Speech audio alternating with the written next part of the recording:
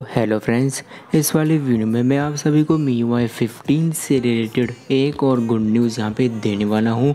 यहाँ पर हम सभी को पता है कि मी वाई फिफ्टीन शेड्यूल किया गया था कि वो यहाँ पर अक्टूबर के मंथ में रिलीज़ किया जाएगा। तो अब इसके रिगार्डिंग ऑफिशियली स्टेटमेंट भी निकल कर सामने आ चुकी है, लेकिन उसको यहाँ पे इस तरीके से शो नहीं किया है कि वो यहाँ पे मी वाई फिफ्टीन ही है। सो यहाँ पे MIUI fifteen enters final testing stage जो कि शो करता है कि मी वाई फिफ्टीन को अब आप सभी को केवल थोड़ा सा वेट और करना है। मी वाई फिफ्टीन यहाँ पे बहुत ही जल्द अब लॉन्च किया जाने वाला है।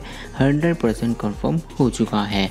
मी वाई फिफ्टीन में आपको एक्साइटिंग फीचर्स भी यहाँ पर देखने के लिए मिलेंगे और यहाँ पे रेडमी नोट सीरीज़ में से note thirteen pro plus will be the first device which will equip MIUI fifteen so यहाँ पे Redmi note thirteen pro series में से यहाँ पे Redmi note thirteen pro plus हो सकता है जिसमें मी वाई फिफ्टीन हमें देखने के लिए मिलेगा क्योंकि यहाँ पे ऑफिशियली एक मैसेज आया है morning start working October will be very exciting MIUI fifteen is coming soon for Redmi note thirteen pro plus so so, जैसा कि रेडमी नोट थर्टीन सीरीज़ को शेड्यूल किया गया था मी वाई फिफ्टीन के साथ लॉन्च होने के लिए लेकिन कुछ इशूज़ के कारण उसको मी वाई फोर्टीन के साथ यहाँ पे लॉन्च कर दिया गया क्योंकि यहाँ पे Redmi note thirteen series China में ऑलरेडी लॉन्च हो चुकी है। मी वाई फिफ्टीन के लॉन्च से पहले। तो सिंपली आप थोड़ा सा वेट कर लीजिए।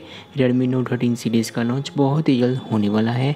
जब भी हो जाएगा, इसके रिगार्डिंग वीडियो क्रिएट कर दूँगा। चैनल को सब्सक्राइब अभी से कर लीजिए। For more information